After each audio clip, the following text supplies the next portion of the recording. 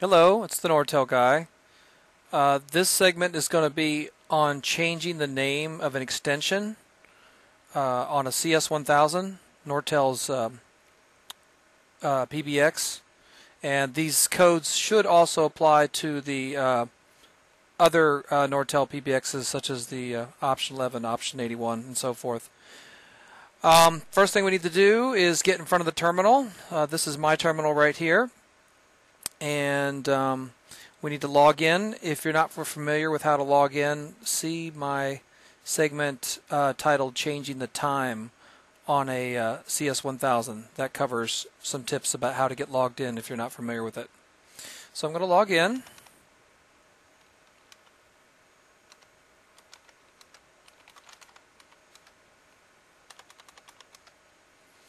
Okay, uh, to change a name, uh, the load for that or the the load module we need to enter is called uh, load 95 or LD 95.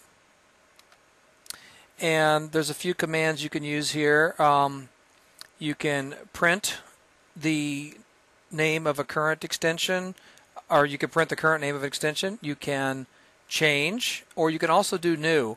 And the time when you would do new is if an extension never had a name in the first place. Um, so if you try to do a change on an extension and it gives you an error, it might mean the extension never had a name to begin with. Anyway, I'm going to change an existing extension, but before I do that, I want to see what the name already is on it. And the way I do that is by doing a PRT, that's Papa Romeo Tango.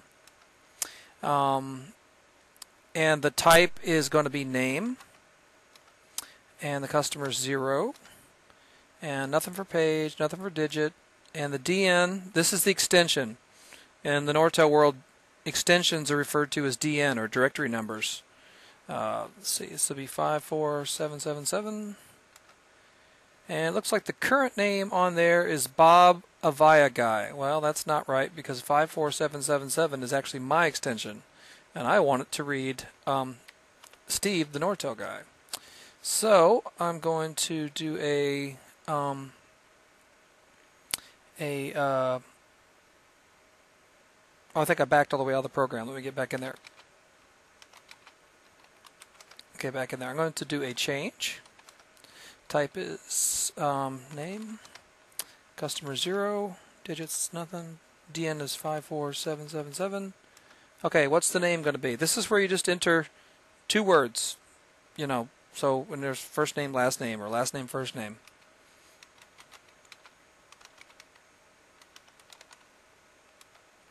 Okay, the display format, what it wants to know is do you want first name and then last name or last name first?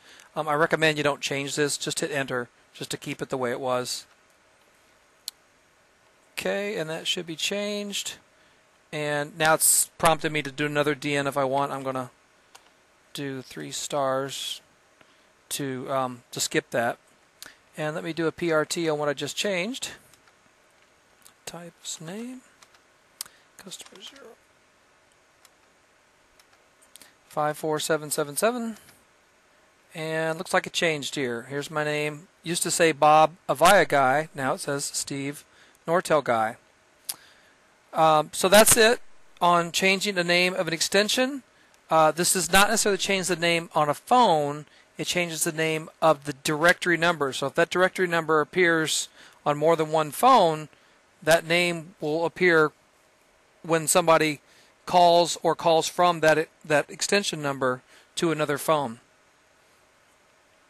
Okay, that's it. When you're done, just do four stars to log all the way out, and then I mean to get all the way out of the load, and then do a LOGO to back out of the completely log out of the PBX, and you're done. Thanks a lot.